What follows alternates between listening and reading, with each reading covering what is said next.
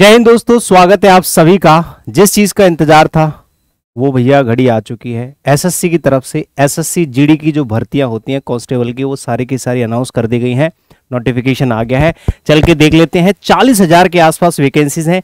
Notice of constable GD in central armed police forces जितने भी बच्चे पुलिस फोर्सेज में जाने की जो है इंतज़ार करते हैं, वो भी सेंट्रल पुलिस में। तो भाई साहब, उनके लिए बहुत अच्छी खुशखबरी है, क्योंकि बहुत दिनों से हम लोग इस चीज़ का वेट कर रहे थे, ठीक है? ये पोस्टपोन भी हो गया था। तो अभी आप यहाँ पे जाओगे एसएससी की वेबसाइट पे सबसे पहले, ऊपर ही दिख जाएगा नोटिफिकेशन यहाँ आप रीड कर लेना, आराम से लिखा हुआ है। देखो constable GD in central armed police forces C and S S F यहाँ पे आप जाओगे, सशस्त्र सीमा बल वगैरह सारी की सारी डेट वगैरह दे रखी है। आज से आपके फॉर्म भरना स्टार्ट हो जाएँगे, ठीक है? पाँच तारीख से फॉर्म भरना स्टार्ट है और चौदह को आपकी जो है क्लोज हो जाएँगे, ठीक है?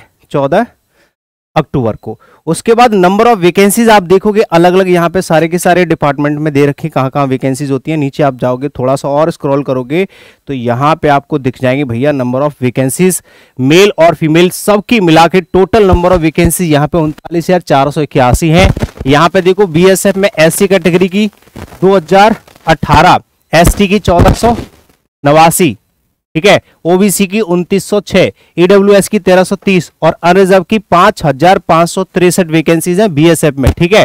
टोटल मिला के देखोगे तो तेरह हज़ार तीन सौ छह वैकेंसीज है मेल कैटेगरी में, ठीक है? सीआईएसएफ में आपके छह हज़ार चार सौ तीस वैकेंसीज है। सीआरपीएफ में आपके ग्यारह हज़ार दो सौ निन्यानवे, सबसे ज़्यादा सीआरपीएफ में आती है भर्तियाँ हमेशा से, और दूसरे नंबर पे बीएसएफ आती है, ठीक है? इसके अलावा नीचे देखो S S B I T P A R और S S F N C B ये सब की यहाँ पे number of vacancies male category की मतलब पैंतीस हज़ार छह सौ बारह तो जो वैकेंसीज सिर्फ़ मेल कैटेगरी में है। फीमेल में आप देखोगे तो टोटल जो नंबर ऑफ़ वैकेंसीज है, वो आपकी है कितनी?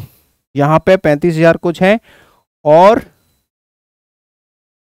यहाँ पे टोटल देखोगे तो तीन हज़ार आठ सौ उनहत्तर। ठीक है?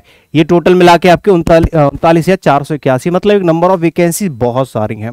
अब देखो, तैयारी आप लोगों की पहले से होनी चाहिए, क्योंकि बहुत, देखो नोटिफिकेशन जब आता है तो मैक्सिमम दो से ढाई महीने में पेपर हो जाता है एसएससी की तरफ़ से, ठीक है? आप तीन महीने में मान लो मैक्सिमम इसमें वैसे एग्ज़ाम डेट तो ऊपर देख लेते हैं, दे रखी हो तो। वैसे एग्ज़ाम मंथ दे रखा होता है डेट नहीं दे रखी होती, ठीक है? तुम ढाई से तीन महीने का जो है मान के चलो।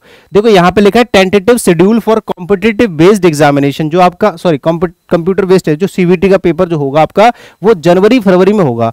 यानी कि अभी तो काफ़ी टाइम है। अभी से आपके पास काफ़ी टाइम है। ठीक है, अभी क्या है, सितंबर चल रहा है। ठीक है, अक्टूबर, नवंबर, दिसंबर, जनवरी, फरवरी मतलब काफ़ी टाइम है। चार से पाँच महीने में आप आराम से तैयारी कर सकते हो मतलब काफ़ी टाइम है।